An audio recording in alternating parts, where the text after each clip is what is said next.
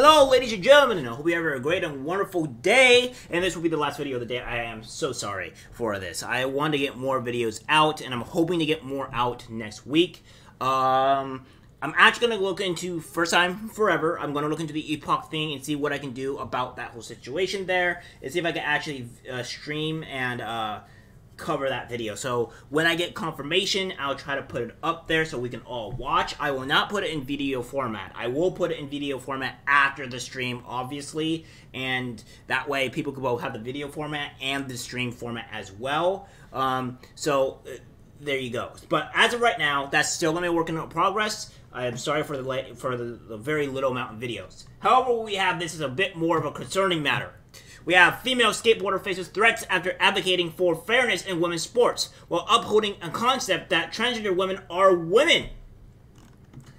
We have this here. In an Instagram post that since appears to have been deleted, Anna O'Neill wrote, Although people are trying to spin the narrative that I am transphobic and that I bully transgender women, that is false. O'Neill was referring to a recent meeting addressing eligibility standards for trans identifying males who want to compete at the elite level in downhill skateboarding alongside women. So what we have this here is from Taylor Silverman. She goes on to say that uh, female down, uh, downhill skateboarder Anna O'Neill spoke up about transgender women in a competition and say she she has been viciously bullied and threatened with violence for it. So you guys are supposed to be um, isn't the trans community supposed to be very um, loving and compelling and you know um, and and respect everybody? That doing this is kind of the opposite of that, right? Like this is not what we call very happy and loving. This sounds like very violent and evil. But of course, they'll try to spin a narrative to make them feel better about themselves. What we have here is from Anna O'Neill's post herself, which has been since deleted. This is the introduction for the recent women's meeting addressing transgender eligibility criteria at the elite level in downhill skateboarding. Although people are trying to spin the narrative that I am transphobic, that I bully that I bully transgender women, that is false. The structure of this meeting it wasn't perfect by any means. No one who organized this is an expert in conflict resolution. However, our intentions were bringing to all all relevant parties to the table and to be and to open up communication in a respectful manner the best way we know how, with the tools and information we have. We have the board. This isn't about myself. This isn't about any individual athlete. This is about fairness and safety in sport and how much we are willing to sacrifice our inclusivity. Transgender women are women. You can be an ally who supports trans rights, women's rights, and fair and meaningful competition simultaneously.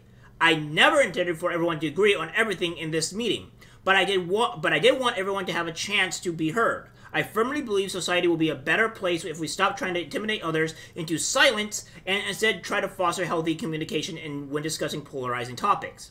Here's the problem with this in general, right? Where she is correct that we would be able, we would have a lot better society if we trying to imitate others into silence. But the thing is, the trans community and a lot of the people of the far left, the communist regime, they don't care about your uh, about anybody else's opinions. They only care about their own. So therefore, if you're what you're saying is true and is going against their narrative, their agenda, they're going to use every every ability in their power to silence you, so that way you can't speak up and they'll use violence and threats and stuff like as they do are with this Anna O'Neill person with their so-called tolerant left, by the way, that to silence you. That's what they do. That's something that they just cannot not do. So when we're thinking about stuff like this, we have to understand that the far left, the democratic regime, the, the communist regime, the evil establishment which houses both Republicans and Democrats that are both evil, are not going to allow this to happen. They're going to fight back and silence you. And they're doing that now with certain states and law enforcement, uh, other crazy stuff like that. What we have here is the transgender women, women are women. I have never said otherwise. But sex and gender are two different things. No, here's what you need to start saying. Transgender women are not women. Let's, let's get this out of the way. We need to set a standard and a policy in a way that says women are women and transgender women are not women. They are people trying to lie to everybody and saying that they're women so they have access to women's things and abuse them. That's pretty much what they are. There's a very few results that they are women, and the fact that they, we are not giving them actual medical or mental help is asinine to me. But I digress. But sex and gender are two different things. To say that there are no psycholo- sociological differences between transgender women and females is false. Yes, exactly. Because female brains and male brains operate differently. We have a different way of thinking in both when it comes down to partners or what we what we seek from our partner and our different roles and that's just the reality of it we just think differently our body is our bodies are completely different our bone structure is different men and women are the same in some aspects but in a lot of ways they couldn't be any more different which is fine. That's just reality. We don't have to go and start crying about saying stuff like, "Oh well, the men and women are the same." No, because they're not. They're vastly different. Now, when it comes to mental, mental or actual brain capacity or you know um, intelligence, we're relatively the same. There is no difference there, which is why I always kind of raise my eyebrow when women started their own uh, CCSW from the Rainbow Six with games when they were never unincluded in the in the in the place in the first place. But that's neither here nor there. Arguments were made for the inclusion of transgender women in the two, in the women's category with zero eligibility criteria. Arguments were also made for trans women only being allowed to race in the women's category if they have not gone through any stage of male puberty. Many other arguments were made. This was the purpose of this meeting, to discuss different viewpoints, even if talking about these possibilities hurt feelings on either side, critical thinking, and the sharing of ideas is integral to understanding nuanced issues and making informed decisions. Here's another thing that I want to address here as well when it comes down to, you know, going not gone through any stage of male puberty. There are been there has been a few clips going around the internet where there has been a young boy when it comes down to just pure wrestling, and I don't know whether he was 12 or 11, but regardless, he was either just starting puberty or before puberty, and he was beating this woman very, very easily, and she was like two to three times his size, and she was having a very hard time trying to pin him down while she while he was pinning her down in in a non creepy and sexual way. People, come on, get your minds out of the gutter. So that being said, even if you take out this male puberty thing, it's still a massive problem. It's still a massive difference. If you're a full full grown female and you can't even take down a a pretty much a child at a very young age, then that's a massive problem, right? Like that's that's a huge strength deficit. And Again, ladies, there's nothing wrong with knowing that you are weaker than men, or that you physical, physically, or if you're, uh, or you can't beat them in a fight. That's that's fine. We have different roles to play, and you have to go to your strengths. There's nothing wrong with having differences with each other, and there's nothing wrong to embrace those differences and go to what we do best. Women are able to do things that men can't do, and men are able to do things that women can't do. Uh, men are able to do things that women can't do. Okay, that's just normal. And the fact that we're going to have to, we're even in this society today where we're discussing whether or not what men and women cannot do, what men and women cannot do, and the reality that men can be women is just completely asinine. It's just insane.